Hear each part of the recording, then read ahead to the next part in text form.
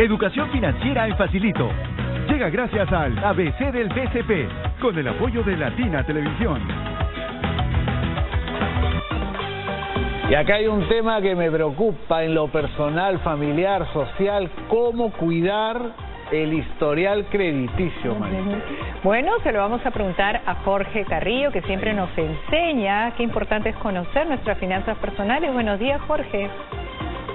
Buenos días, Maritere y Pedro. ¿Qué tal? Buenos días a todos los televidentes y bienvenidos nuevamente a Educación Financiera en Facilito, donde cada semana te daremos algunos consejos prácticos para organizar mejor tu dinero y no llegar ajustado a fin de mes.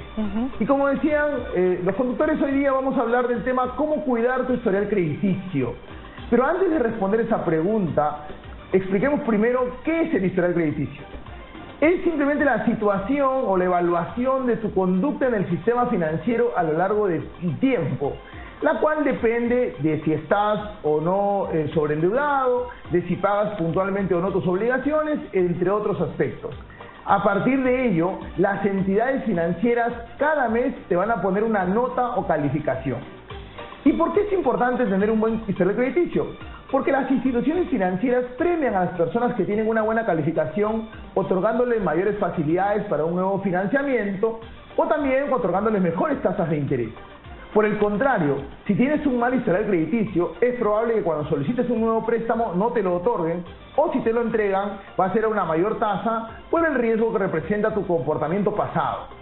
Ahora que comprendemos lo importante que es, te daré cuatro consejos prácticos para mantener un buen historial crediticio. Número uno, no te sobreendeudes. Recuerda que el pago de tus deudas no debe superar el 30% de tus ingresos todos los meses.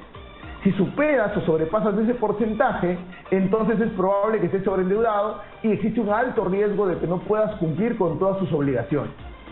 Número dos, no tengas muchas tarjetas de crédito. Si tienes muchas tarjetas, es posible perder el control de tus gastos porque puedes utilizar pues compras con todas y cada una de las tarjetas y al final puedes olvidar el pago de alguna de ellas. Entonces hay que tener cuidado con eso. Número 3. Evita retirar efectivo de la tarjeta de crédito. No te olvides que sacar dinero de la tarjeta está sujeto a los intereses más altos del mercado, por lo cual solo debes usarlo para una emergencia de verdad. Y número 4. Paga tus deudas a tiempo.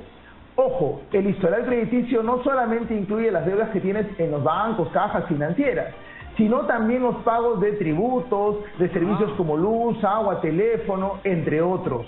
Por ello debes organizarte anotando la fecha de vencimiento de tu deuda en una agenda o un calendario o mejor todavía en tu celular y hazlo uno o dos días antes del vencimiento de la fecha de pago para evitar el riesgo de que justo el último día pues algún imprevisto te, te impida pagar a tiempo. Para terminar, recuerda que el historial crediticio es tu carta de presentación ante las entidades financieras. Cuando tomas una deuda, asumes un compromiso, por lo que debes ser responsable con el pago de tus obligaciones a tiempo. Si lo haces de esta forma, tu calificación será buena y podrás seguir accediendo a nuevo financiamiento, lo que te permitirá cumplir tus metas.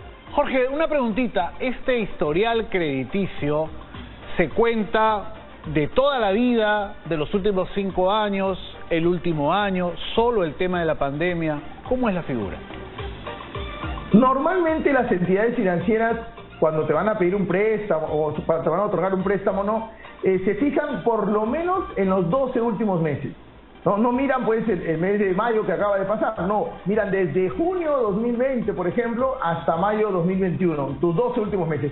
Algunas incluso miran los últimos 24. Entonces hay que tener cuidado con mantener un historial, por eso es historial, no es tu última foto, es el historial crediticio de lo que se habla, ¿no?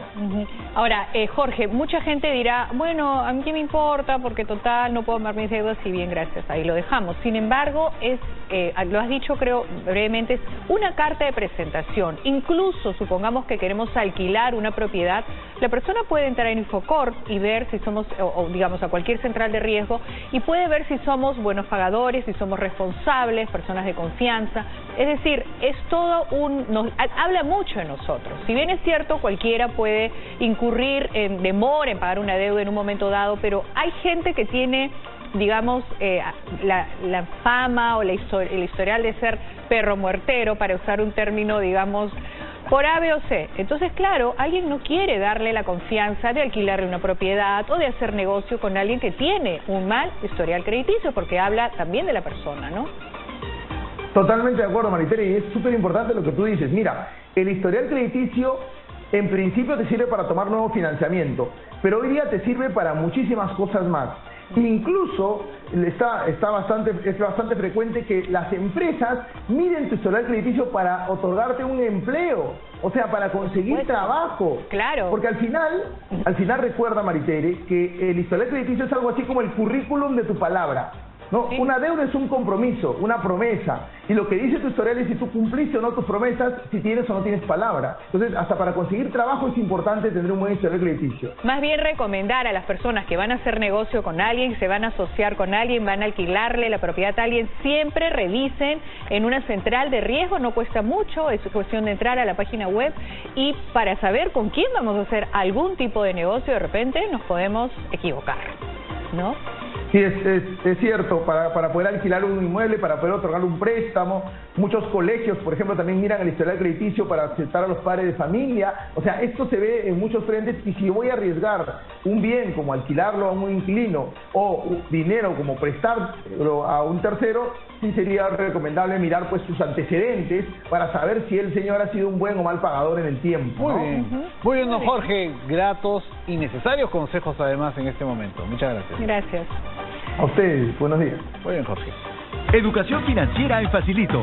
Llegó gracias al ABC del BCP, con el apoyo de Latina Televisión.